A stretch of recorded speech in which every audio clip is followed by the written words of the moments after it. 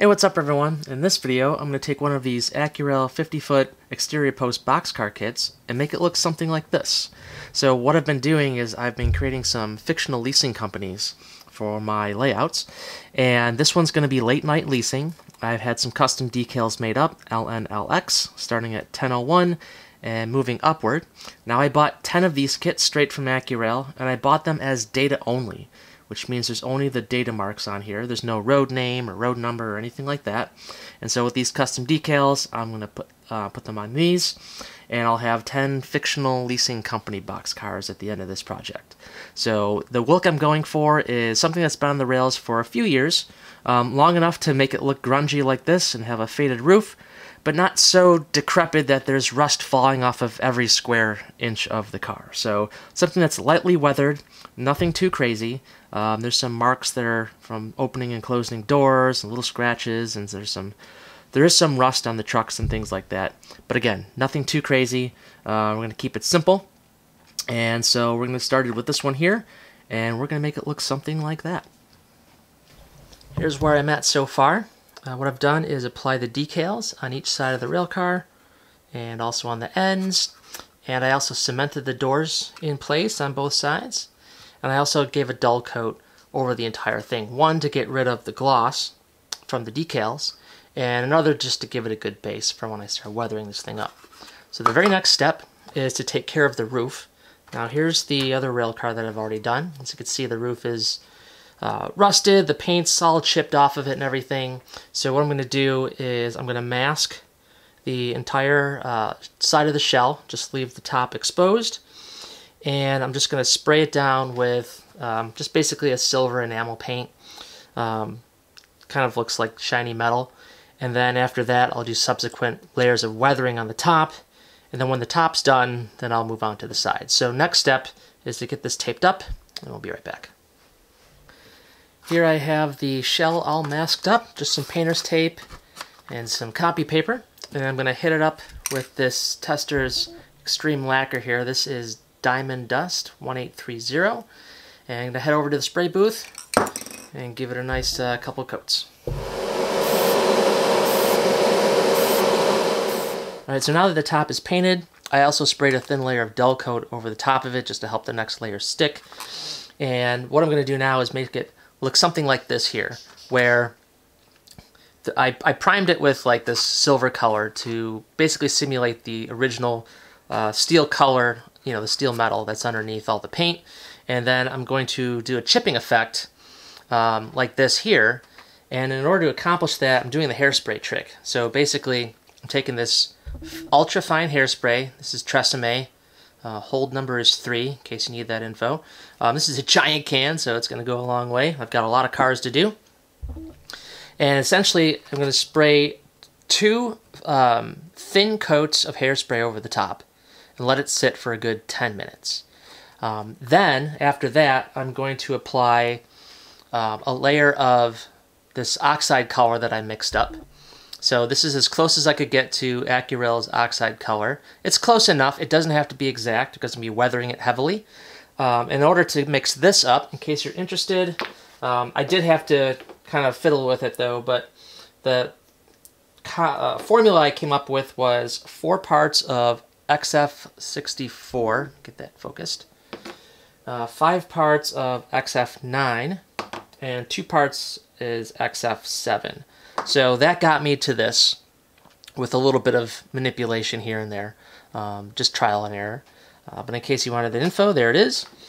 And so I'm going to spray that over the top, get a nice, um, you know, uh, even coat along the top here. Probably take a couple of different uh, thin applications to do that. Let that sit for another 10-15 minutes and then uh, I'll do the chipping effect, which is basically you take a brush or a toothpick or a cotton swab or whatever and you uh, get it damp and just start scrubbing away at the top.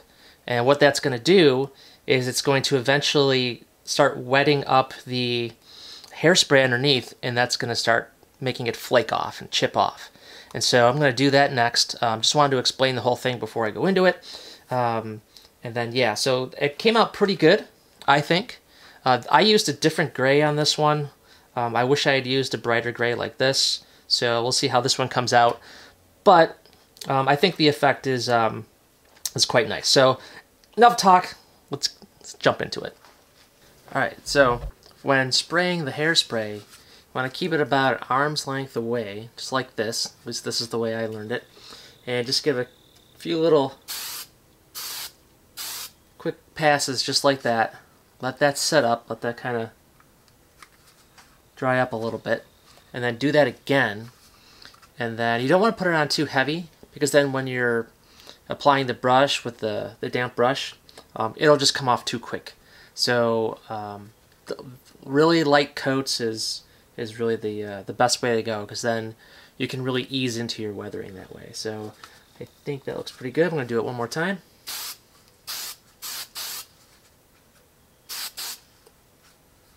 That looks pretty good. Alright, so I'm to let this sit up for about 10 minutes, and that'll give me enough time to set up my airbrush, and we'll be back to uh, spray the top.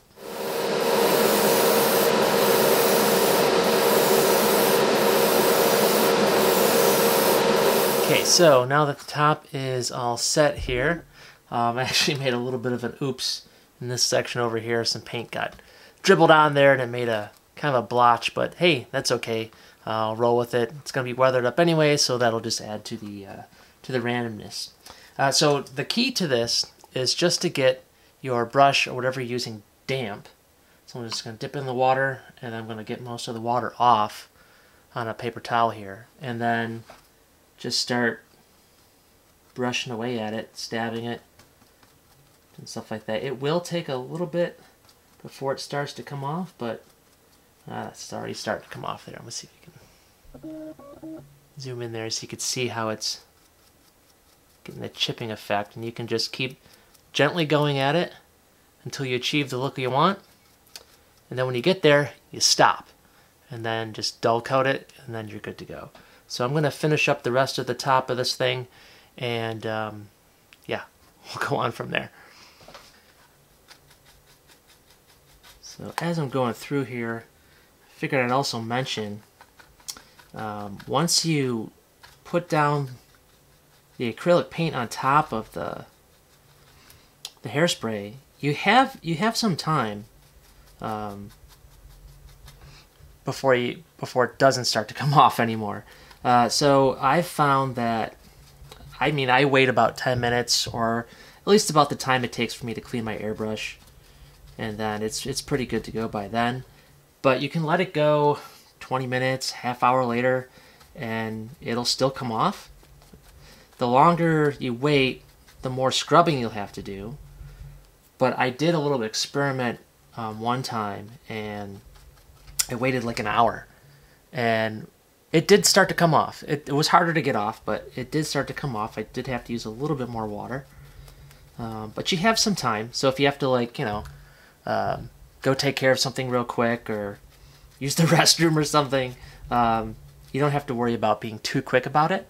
So you can take your time and, getting the look you want. Um, so that's really nice about that technique. And then I found that from all the research that I've done on this technique, um, the finer the hairspray you can get, the better. Uh, I guess the globbier it is, the more it's just going to flake off right away. So you're not going to get that fine sort of detailed chipping look to it. And I also take the like other different types of brushes here. Like this is more of like a stipple brush. And really kind of go at it if I want to get stuff off real quick. And then uh, just kind of play with it, you know, um, until you get the look you want. Okay, so I am at the point where I'm pretty happy with where it's at. So I'm going to let this dry up and dull coat it, and then I can start taking the mask off and start weathering the sides. Now I'm not going to weather this anymore at this point. Um, I will be adding some washes uh, to simulate grime and dirt and some more rust and things like that. But for this point, I'm pretty happy with it right here. Um, I'll do the washes over the whole thing when I get to those particular steps. And yeah, so next step, dull coat it, and then take off the mask. So now that the mask is removed, we can see it's starting to come together a little bit here. Um, the next step I'm going to do is give it a little bit of a fade, so like it's been sun bleached, so to speak.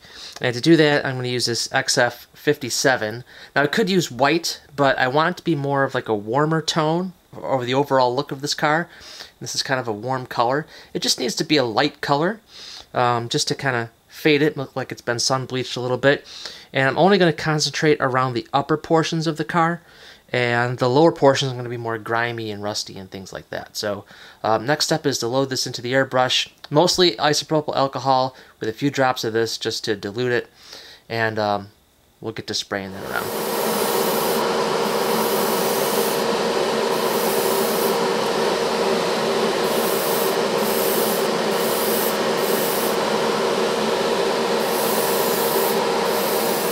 Okay, so hopefully you can see this on camera here. It's a lot easier to see um, in person, but there's a subtle fade from top to bottom. You can kind of see it along the edges here.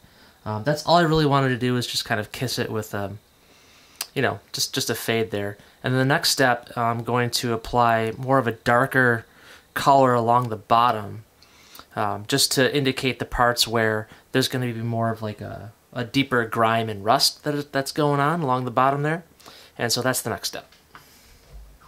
Okay, just to point out where I'll be applying the paint, um, it's going to be kind of like in the corners down here, along the bottom, um, along here where the door slides open and everything. Parts where, you know, like as water and dirt and grime comes down after rain falls and everything, it kind of collects down here. So that's basically what I'm going to simulate. Um, again, this car is not really meant to be weathered heavily, just that it's it looks like it's been on the rails for you know a few years. So um, that's where I'll be concentrating the color. And the color, by the way, I'm going to be using is XF9, which is called Hull Red, which is one of my favorite colors. Um, it's a good base to put down before I put down more darker, grimy colors. Um, I feel like that's a good color for that. So um, that's what I'll be doing next.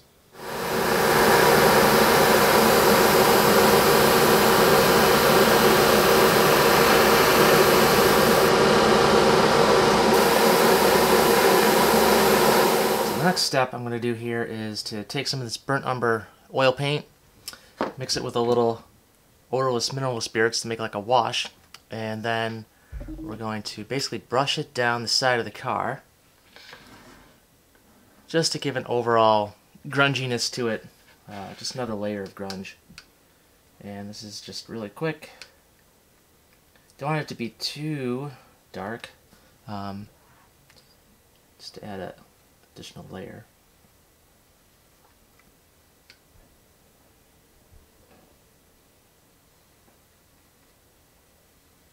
And that'll seep into all the creases and everything, all the corners. I'm just going to do this, oh, like one or two times uh, per side, just to give that little extra layer of grunge there. And then we'll move on to the next color.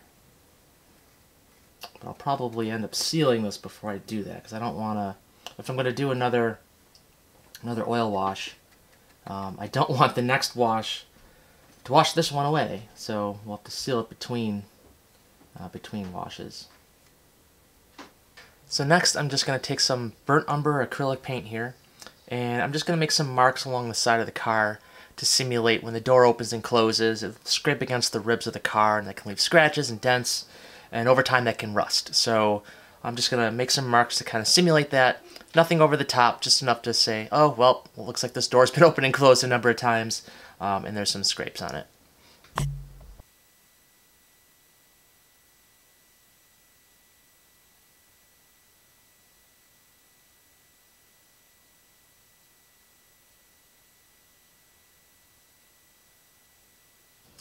So next up is another oil wash, this time using burnt sienna. And this gives more of a fresher rust type of look than a deep grime like the um, burnt umber did. Um, and this is going to go along the top of the rail car, just to give it some color up here.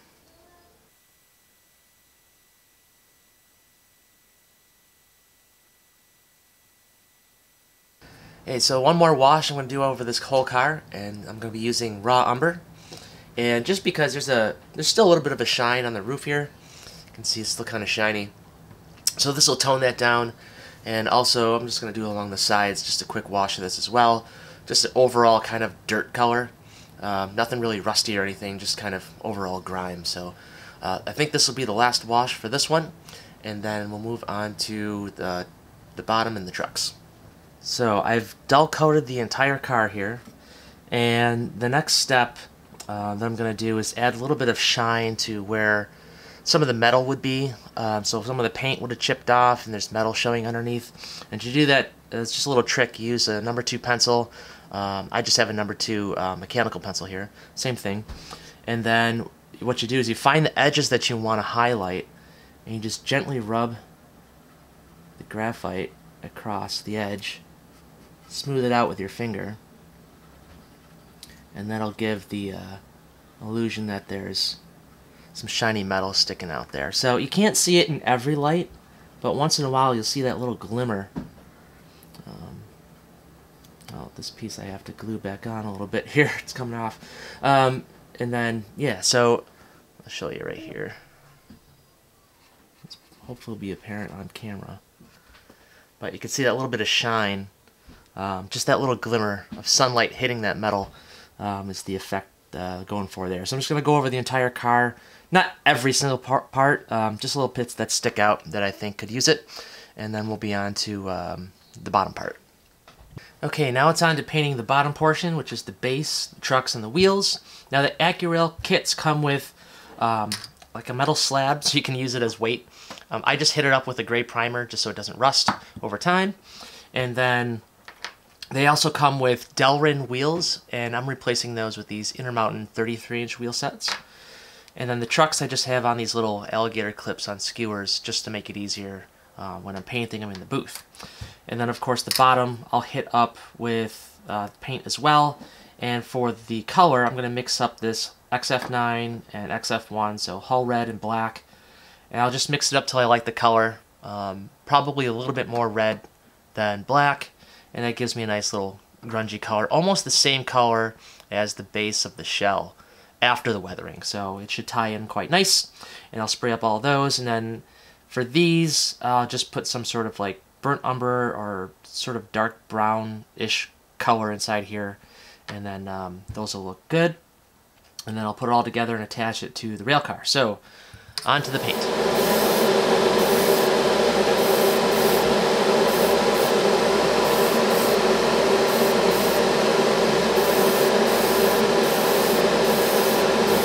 Okay, so here is the result of the trucks being painted.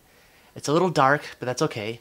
Um, it kind of matches up to the lower portion of the shell, where all the grime is. So what I'm going to do is I'm going to kind of spray upwards and over from the side a little bit lighter color just to kind of brighten it up and also to simulate some dust and stuff. And what I'm going to do is use this color here, which is a mixture of all of these. So it's one part XF9, one part 80, one part 52, and a third part XF1, black. So all these colors mixed together in almost equal parts comes out to this, which is pretty close to my reference photo that I have here. Uh, focus on this. And so what I'm going to simulate is kind of this color here, a little bit of this, and then just kind of shoot it up at the trucks like that. Um, this is probably a little bit darker than the, what this dries as, so I may need to add a little bit more of the hull red, uh, but we'll see. Uh, I'll give it a shot of just this mix right here, and then uh, we'll go from there. Okay, so I have dull coated these because I like the way the base color is right now. And what I'm going to do now is do some more oil washes. So I'm going to do a burnt umber as like a general overall wash and then burnt sienna for some of the parts where I want to add a little bit more of like a rust type color. So in the springs and maybe on the the bearing caps here. And so that'll be the next step. Okay so here's the result of the oil washes. Um, it's kind of hard to see on camera but in person it the colors kind of pop out a little bit more. Uh, so I'm going to let this dry and then the last step I'm going to do is use that number two pencil again and just highlight some of the edges where um, there'd be some some shiny metal from rubbing or whatever happens to happen. Uh, and that'll be the last step for the trucks. Alright, so onto the wheels, and I'm just going to use this little micro brush, and I'm to mix up some Hull Red and Black Brown together. Uh, I figured these two mixed together look, should look pretty good. And then I'll just take the brush, swipe it around the wheels, and we should be good to go.